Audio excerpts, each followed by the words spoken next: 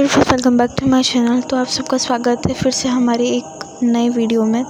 तो हम बनाने वाले हैं आज आलू और आ, साथ में पालक मिला के बैंगन और गोभी की सब्ज़ी। तो ये भी एक तरीके से मिक्स वेजिटेबल ही रेसिपी है। तो आप वीडियो में बने रहिएगा।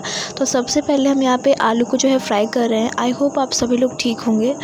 तो सबसे पहले यहाँ पे आलू को अच्छे से फ्राई कर लेना है, हल्का गोल्डन ब्राउन होने तक। तो आप चाहें तो यहाँ पे नमक डाल के अच्छे से फ्राई कर सकते हैं या फिर विदाउट नमक डाले हुए भी फ्राई अभी कर सकते हैं अभी में। ठीक है जब आप सभी चीज़ों को फ्राई कर रहे हो तो। तो यहाँ पे इन सभी चीज़ों को अच्छे से फ्राई करेंगे मिक्स करके। और फ्राई करने के बाद यहाँ पे जो है, इसको एक प्लेट में निकाल लेंगे।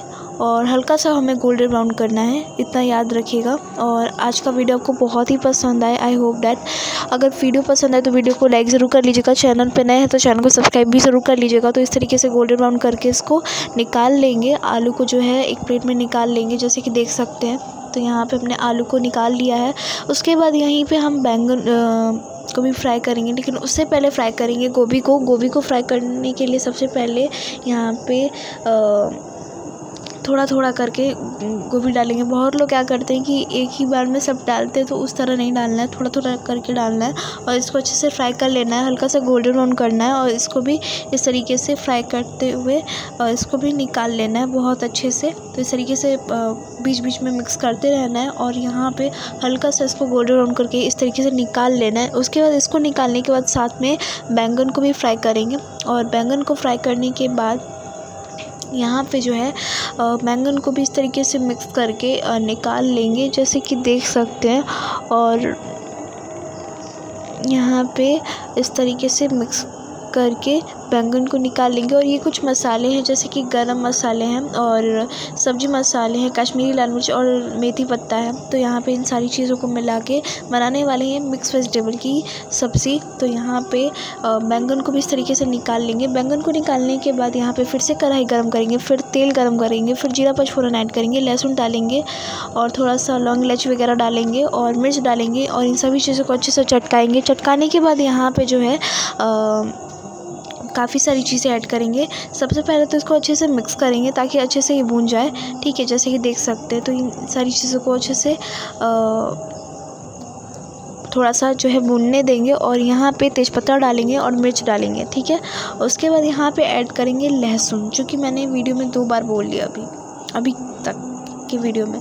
तो यहाँ पे इन सभी चीज़ों को अच्छे से मिक्स करेंगे और यहाँ पे अदरक डालेंगे। अदरक ऑप्शनली आप चाहे तो ऐड कर सकते हैं। अब यहाँ पे ऐड करेंगे थोड़ा सा प्याज। उसके बाद प्याज को ऐड करने के बाद इन सभी चीज़ों को अच्छे से मिक्स करेंगे। तो यहाँ पे प्याज को भी अच्छे से मिक्स करेंगे और यहाँ पे चाहे तो यहाँ पे भी आप नमक ऐड कर सकते हैं। अब यहाँ पे क्या करेंगे? थोड़ा सा टमाटर ऐड करेंगे।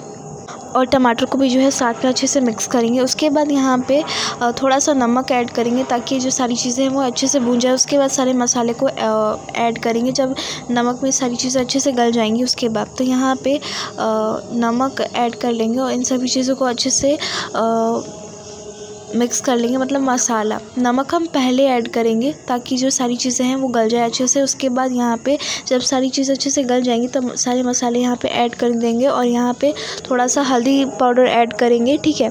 और यहाँ पे थोड़ा सा ऐड करेंगे टेस्ट के लिए मिक्स मसाला। मिक्स मसाला यहाँ पे ऐड करेंगे। उसके बाद इन सभी चीज़ों को अच्छे से मिक्स करेंगे। मिक्स करने के बाद यहाँ पे मसाले में इन सभी चीज़ों को अच्छे से भूनने देंगे। थोड़ा सा पानी ऐड करेंगे ताकि मसाला जो है अच्छे से भून जाए। मसाला जो है अच्छे से भून जाएगा तो खाने में भी बहुत ही टेस्टी लगेगा और देखने में काफ़ी टेस्टी लगेगा। तो आजकल जो है मेरी वॉइस जो है थोड़ी सी ऊट चल रही है।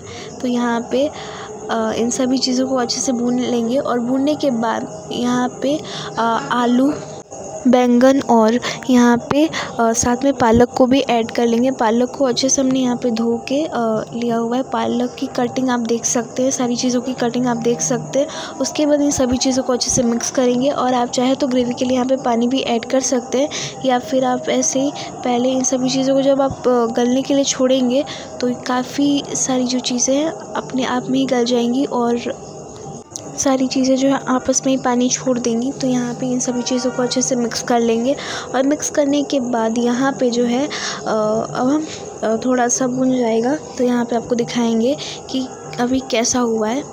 तो यहाँ पे सारी चीज़ें जो है अच्छे से देख सकते हैं कि बुन चुकी है। तो सीधा सर्व करके दिखाते हैं। आई होप आज की सर्विंग भी आपको अच्छी लगे। तो ये कुछ रही आज की हमारी सर्विंग। तब तक के लिए बाबा फ्रेंड्स। मिलते हैं अगले वीडियो में। बाबा टेक केयर सेफ़।